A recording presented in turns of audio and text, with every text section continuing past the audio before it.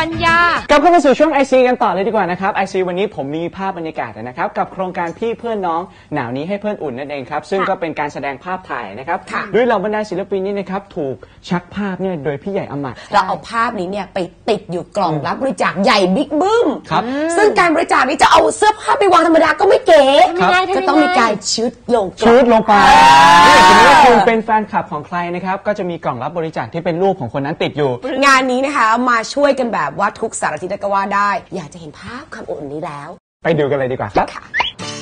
ไอซีวันนี้นะครับ เราพาทุกคนมาชมภาพบรรยากาศงาน Exhibition ภาพถ่ายของโครงการ หนาวนี้ให้เพื่อนอุ่นที่เดอะมอลล์บางกะปิกันครับ ครงการดีๆ แบบนี้ก็มีผู้ใหญ่ใจดีมาร่วมกับไอทีมส่งต่อและเติมเต็มความอบอุ่นในครั้งนี้ด้วยครับ ไม่ว่าจะเป็นองค์การส่งเสริมกิจการโคนมแห่งประเทศไทย หรืออสค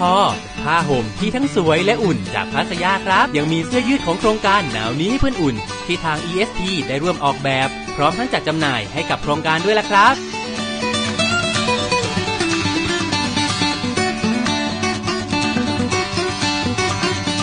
ย่าเนี่ยได้มีโปรเจกต์ที่จะทำเรื่องผ้าห่มบริจาคอยู่แล้วนะคะ เราก็ตั้งใจทำผ้าห่มชุดนี้ให้เป็นพิเศษสำหรับทางรายการเลย เพราะว่ารู้ว่าต้องไปในพื้นที่ที่อากาศหนาวจัดรวมทั้งถึงในการที่จะได้ใช้ประโยชน์จริง ๆ ด้วยนะคะ ก็เป็นกิจกรรมดีดีกิจกรรมหนึ่งนะครับที่ทางองค์การส่งเสริมกิจการโคนมแห่งประเทศไทย ก็ได้มอบผลิตภัณฑ์นมนะครับ ซึ่งนมเนี่ยเป็นอาหารที่มีพลังงานนะครับมีโปรตีนแล้วก็ไขมัน ก็จะช่วยสร้างความอบอุ่นให้กับน้องๆทางเหนือในโครงการนี้ด้วย ทาง ESP นะคะเราออกแบบในเรื่องของตัวเสื้อผ้านะคะ เราออกแบบทั้งแต่ในเรื่องของตัวกราฟิกนะคะ แล้วก็ในเรื่องของการผลิตสินค้าให้กับโครงการนี้นะคะ สามารถหาซื้อได้ที่เอ่อเคาน์เตอร์ของ ESP นะคะที่เดอะมอลล์ทุกสาขา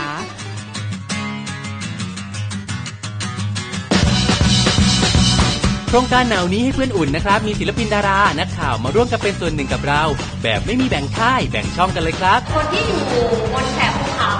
แถบภาคตะวันออกเฉียงเหนือภาคเหนือเนี่ยเขาเจอภัยแรงภัยแรงมาพร้อมกับภัยหนาวลบตู้เสื้อผ้าบอกแม่เลยว่ามีสนาวกี่ตัวออกมาให้หมดเลือกตัวที่เราคิดว่า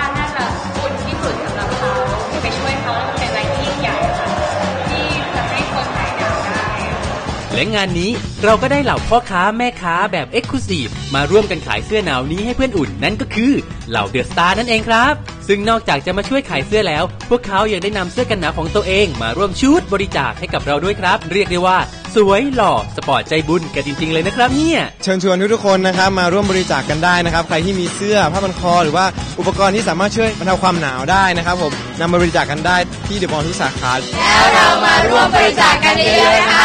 ย้ำกันอีกครั้งหนึ่งนะคะ ว่าเราอยากจะได้เสื้อกันหนาวมือสองของคุณจริงๆค่ะ เพราะว่าเสื้อกันหนาวมือสองของคุณเนี่ยอาจจะมาเป็นเสื้อกันหนาวมือหนึ่งของใครหลายๆคนครับค่ะไม่ต้องห่วงนะคะ ถึงแม้ว่าเราจะเห็นภาพบรรยากาศของการจัด photo exhibition ของเราที่เดอะมอลล์บางกะปิไปแล้วเนี่ยตอนนี้ถ้าเกิดใครสนใจอยากจะเอาเสื้อกันหนาว หรือว่าผ้าห่มเก่าของเราเนี่ยไปร่วมบริจาคเนี่ยค่ะยังสามารถอุ้มค่ะอุ้มยังทันอุ้มยังทันยังทันอยู่เอาไปบริจาคได้ที่กล่องรับบริจาคที่เคาน์เตอร์ประชาสัมพันธ์เดอะมอลล์ทุกสาขาครับผมเราไปปุ๊บเราจะเห็นกล่องไม้นะคะ แล้วก็ใส่ของลงกล่องได้เลยครับซึ่งทีมงานของไอทีเนี่ยก็จะขับรถไปเก็บครับมาทุกๆวัน เพราะฉะนั้นเนี่ยไปบริจาคกันได้เต็มที่เลยค่ะ หรือถ้าเกิดใครเนี่ยไม่อยากจะเอาไปบริจาคนะไปซื้อ ไปซื้อเสื้อยืดการกุศลครับ ที่ทุกคนใส่กันแนวนี้เพื่อนอุ่นได้เหมือนกันที่เคาน์เตอร์ ESP ที่เดอะมอลล์ทุกสาขา ราคาตัวละ 350 บาท รายได้หลังหักค่าใช้จ่ายเนี่ยครับผมเราก็จะเอาไปช่วยผู้ป่วยที่ศิริราช แล้วก็ไปซื้อของใช้จำเป็นครับค่ะไปที่ตำบลห้วยชมพูอำเภอเมืองจังหวัดเชียงรายกันด้วยค่ะ ซึ่งภาพบรรยากาศการส่งมอบให้กับสิริราชมูลนิธินะคะ เราจะนำมาให้คุณผู้ชมได้เห็นในโอกาสต่อไปค่ะ ยังไงก็อยากจะเชิญชวนทุกคนนะครับมาร่วมเป็นส่วนหนึ่งกับโครงการดีๆแบบนี้นะครับและผู้สนับสนุนหลักของเราอีกคนหนึ่งที่มามอบผ้าห่มเนี่ยเป็นพันผืนเลยนะครับค่ะมูลค่าเนี่ยเป็นล้านเลยนะครับใช่ นั่นก็คือ PASAYA นั่นเองครับและตอนนี้นะครับทาง PASAYA นี่นะครับผมเขาก็มี PASAYA Grand Sale and Festival นะครับค่ะ ที่ให้คุณเนี่ยไปซื้อผ้าห่มและตอนนี้เนี่ยผ้าห่มผ้าปูที่นอนหมอนต่างๆเนี่ยนะครับผมลดราคาเนี่ยถึง 70%เลยทีเดียวครับ ใช่ค่ะ ไม่ต้องห่วงนะคะ ถ้าเกิดใครเนี่ยยังไม่ได้ไปบริจาคกับเราที่กล่องรับบริจาค ครับไปช้อปปิ้งที่นี่ได้เหมือนกัน ครับ ซื้อปั๊บนะคะ เรามีกล่องรับบริจาคอยู่ข้างๆเลยเฮ้ย สามารถ สามารถเดินทางไปซื้อกันได้นะครับ ที่พัสยา Factory Outlet ที่จังหวัดราชบุรีนั่นเองครับค่ะเดินทางไปเนี่ยเพียงแค่หนึ่งชั่วโมงเท่านั้นนะครับค่ะโอเคครับ และนี่ก็คือเรื่องราวทั้งหมดที่นำมาเล่าสู่กันฟังนะครับ กลับมาพบกับพวกเราได้ใหม่ทุกวันเสาร์บ่ายสามโมงครึ่งทางทรบ5กับรายการไอทีวันนี้พวกเราสามคนลาไปก่อน สวัสดีครับ สวัสดีค่ะ อย่าลืมมาร่วมบริจาคนะครับ